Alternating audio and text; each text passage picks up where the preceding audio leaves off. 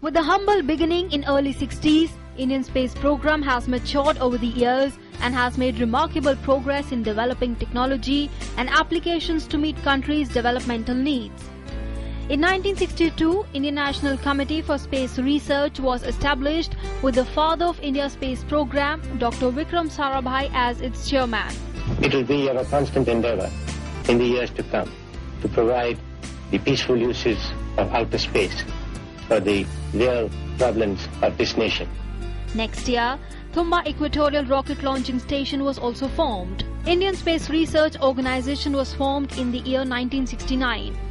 But India's first major feat came only in the year 1975 with the launch of India's first satellite Aryabhat named after the great Indian mathematician. After that, India has sent a number of satellites into space. The communication satellite series, which started with the Apple satellite, grew into a very large constellation of satellites in the INSAT and GSAT series. These satellites revolutionized the technological and economic growth of the country.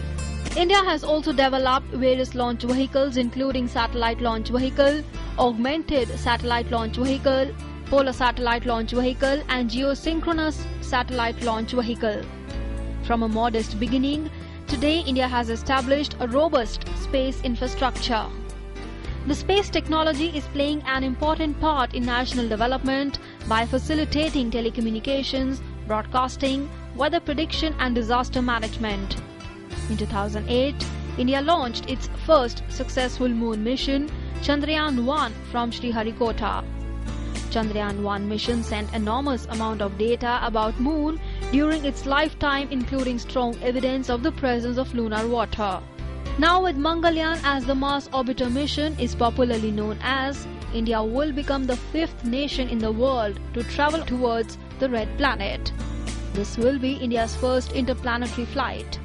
If successful, the mission will be a giant leap in India's space program. Bureau Report, DD News.